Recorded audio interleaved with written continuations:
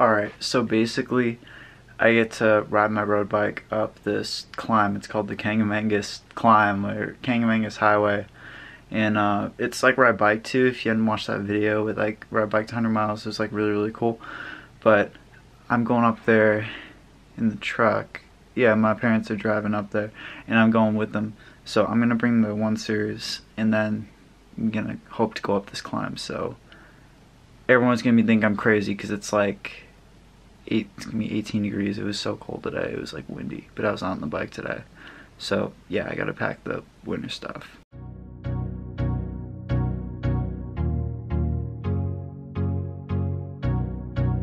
And everyone there's gonna think I'm crazy, but like, who doesn't think I'm crazy? Let's see, I don't drink coffee, I don't eat animal products, which is all very healthy for you, but to everyone else, you're freaking psycho.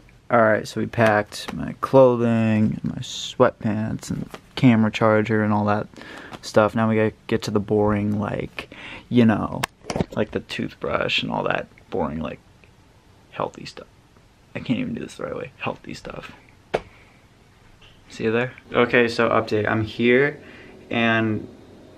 Okay, so update, and I'm here, and last night I had this really, really good, uh, tofu dish that I really like. I have it whenever I come here. I'm gonna show you a picture of it right now. And it looks really, really good. I don't know. It's so it has like this maple glaze sauce. And also like I went to this cocktail party with my mom and dad and they had like a couple things I could eat. They gave me these um these berries that were kind of they're almost like marinated, kind of like the berries you'd find in a sangria. And then other thing I had was these noodles that I could have. They're really spicy and they had some vegetables and I added some carrots to them so that was really good. So I had those for dinner.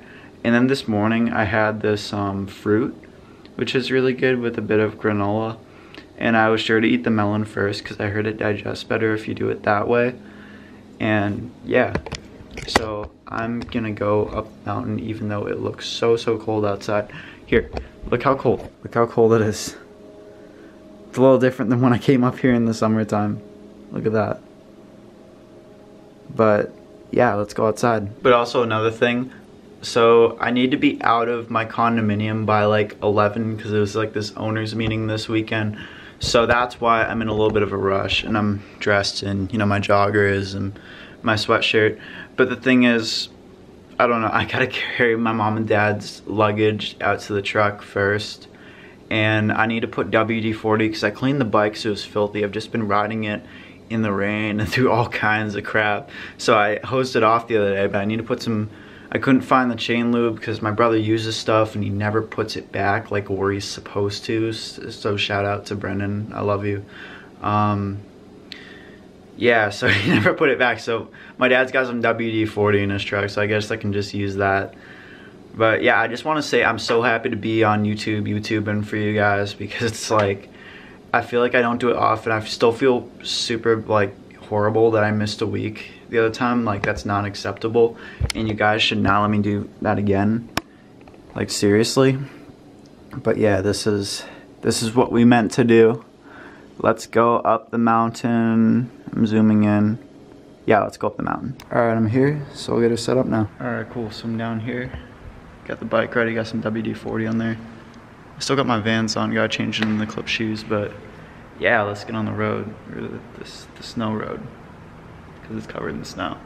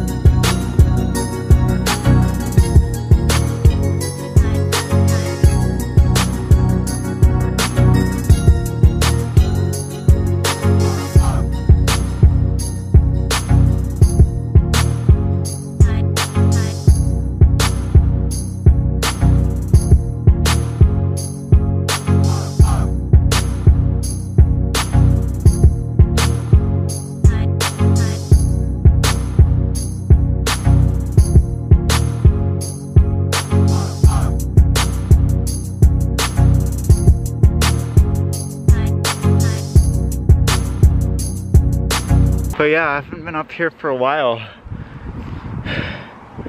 But I miss being up here. It's really, really cool. And you can just see the mountains everywhere. It's like the prettiest thing ever.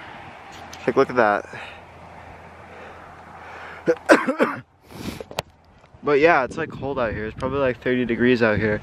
And I've been climbing the whole time and like I tried going full gas but it's just like not like rocking the handlebars and stuff because what I should say is you see the handlebars down or no not the handlebars you see the pedals down here your clip shoes here. Ice gets in your clip shoes it can be hard to clip in. What I did was I took a rock on the side of the road and I scraped most of the ice out of it and I got it out but still I don't want there to be like too much in there if you know what I mean it's just too much but yeah, we'll keep going to the summit.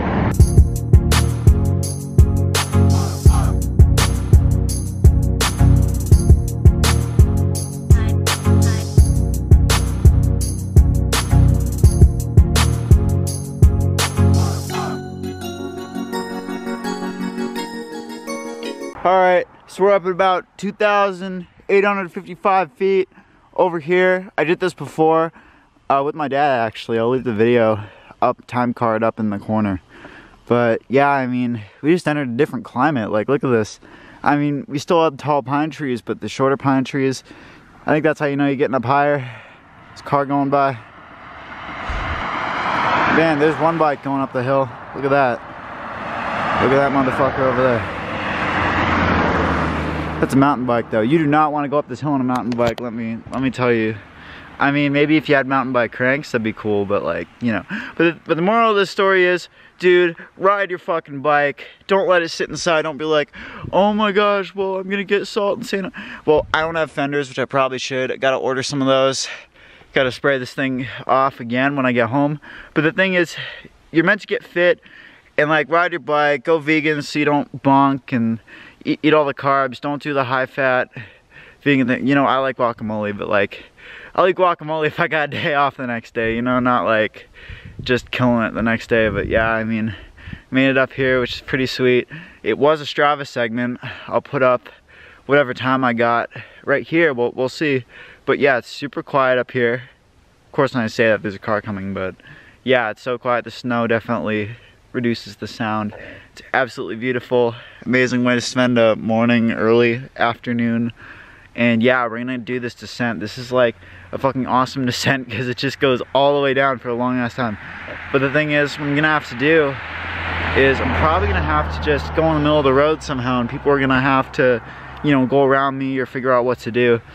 But I mean, if you watch the vegan cyclist, he probably, I think he's had issues with that. Like someone brake checked one of his friends or something. But yeah, that wasn't too good. But absolutely, dude, it's freaking beautiful up here. Like, I don't know, this is, this is one of the reasons I don't smoke weed or uh, do acid or, or, stuff like that. Like, why would you do that when you could do this? Like, got the runner's high, but it's better. You're on a bike, you're moving, you listen to some music. I, I listen to like, yeah, you know, I listen to my trap music like Lil Skies or, um, you know, I listen to my Swae Lee music, whatever. And then like, I listen to like half of that new Post Malone album on the way up here. And I got to yeah, I got to on the road and then like I got up here, so that was pretty cool. But yeah, I have been on the road. But man, we're so high up. I probably get such a shitty Strava time because yeah, there are probably some super lucky people. I'm sorry, my camera like I'll forget to delete stuff and it'll run out of storage, so I need to delete something and then start it up again. But the thing is, there are probably some super lucky people that live near here and got to go up every day. And you'd be like, what? No, going up 2,000 feet every sounds like torture. And, and, it does, but like, it gets fun. I, I know it's stupid. Like, it doesn't sound like it makes any sense whatsoever, but it actually does get really fun. And oh my gosh, man, if you live near here, you're gonna be fit as fuck. You're gonna be fit as, you're gonna be way fitter than me or any, especially if you do vegan. Oh, actually, I forgot to tell you, I saw Joe Rogan go flying past me on a on, on a mountain bike.